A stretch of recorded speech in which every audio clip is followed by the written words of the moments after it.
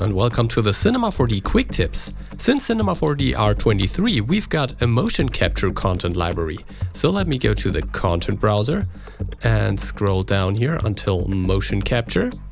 And if we unfold this, you see that there is a folder with a model in T-pose and a folder containing many motion capture clips.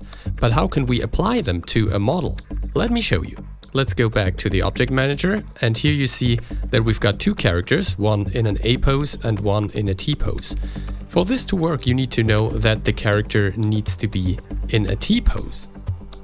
For rigging this character I use the character object with the Mixamo control rig. And after going through all of these steps here, I just made it editable and deleted everything except for the bind hierarchy. You don't need to do this, but it helps to keep the overview now. The base for applying motion capture data to the character here is to go through the new retargeting workflow. And now I'm going to show you how this works. First, I right click one of the objects containing the rig and then I go to rigging tags, character definition. So in order to transfer an animation from one character rig to the other, we need to create a character definition. Now we go to open manager and this will bring up this manager here and you can see that we need to assign the respective joints to all of the different body parts here.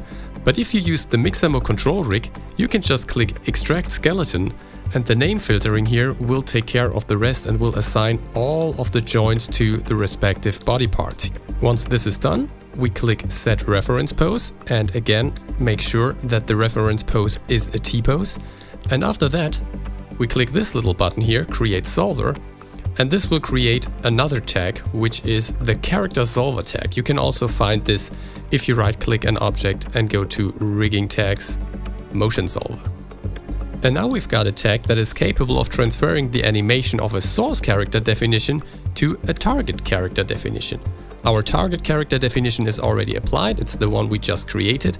And now we just need to go to the content browser and let's create a new one here and just scroll through the different clips. And let's say I want to use the static jump A, for example. I just double click that and close the content browser and go back to the object manager. And then I select the character solver tag again and drag and drop the character definition tag of the motion capture data into the source character link field. And once I did that, you can see that the character already jumped into a new pose and if I press play now, you can see that the character is jumping. Now let me pause this animation and go back to the content browser. And now let's add the running loop simply by double clicking it. And if we now apply this to the character solver tag, simply by dragging and dropping the character definition into the source character field, we've got a running person.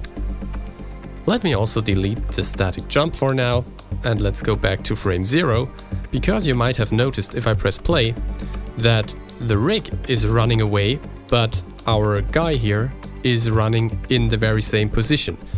Now if I go back to the first frame, I can just drag and drop the whole character here into the motion offset null, and now if I hit play, the character is also going to run away. Thanks for watching. If you enjoy our quick tips, please like, comment and subscribe.